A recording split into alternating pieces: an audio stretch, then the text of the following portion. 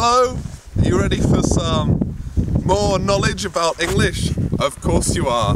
Today we're going to learn about winter time and what we do in England. Or even in Britain, why not? What we do is if there's any snow at all, then our whole society shuts down.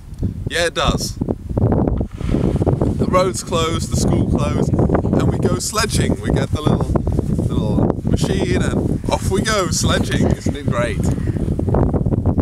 The other things we like to do in winter is complain. Oh, it's so cold, I hate it. That's what we really love doing. That's what really makes us happy.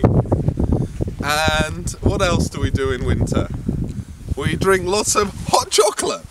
Yeah, we love a bit of hot chocolate. It's yummy.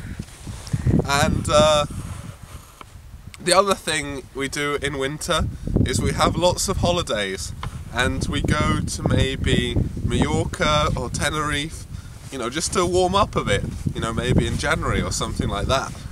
So that's what British people really love to do, and uh, I really recommend you come and visit Britain in winter, um, or go to Tenerife probably, it's better there.